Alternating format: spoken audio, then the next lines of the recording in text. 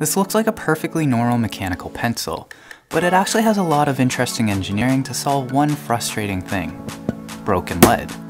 Hi, I'm David, and this is a Zebra DelGuard, the unbreakable lead pencil.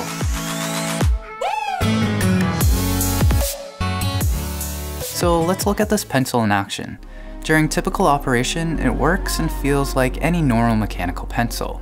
But if you're a heavy writer who applies too much pressure on your lead tip, that's where the DelGuard protective mechanism kicks in to prevent the lead from breaking. But let's take a closer look. Pressing down firmly on the lead at an angle, and you'll see the sleeve tip extend out to protect the lead. Or if you press down vertically on the lead, it will auto retract inside, again protecting the lead from breaking.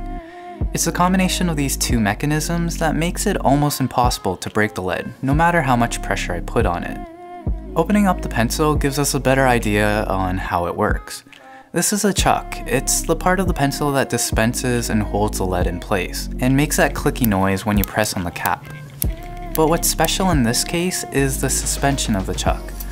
On this pencil, the chuck is held in place by a spring that allows it to move around freely from the rest of the pencil. With enough pressure, the spring will compress and push deeper inside the case, but it also has a lot of flexibility to bend off axis from the rest of the body when you press down on the lead at an angle. The next part to look at is the sleeve or the guard of the lead pencil, and this part is designed to extend out and shield the lead when you press down on it at an angle. The sleeve is held in place by a spring, but when you pull it out, you can see that the sleeve isn't cylindrical, but instead curved like a spinning top. So when you apply a perpendicular force to the sleeve, the curved shape causes it to extend out and shield the lead from breaking. This dual spring design makes it almost impossible to break the lead on your pencil from pressure alone, but it does have some limitations. The DelGuard pencil comes with the warning, lead may break when retracting lead more than three times, or using softer lead. And this makes sense because the guard system is only designed to extend out so far, so any part of the lead that extends past the range of the guard just can't be protected. So that's the Zebra DelGuard mechanical pencil.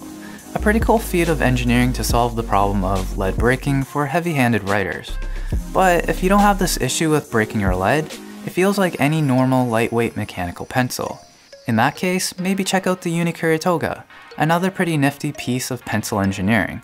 But hope you guys enjoyed this one, you know what to do, and I'll see you in the next video.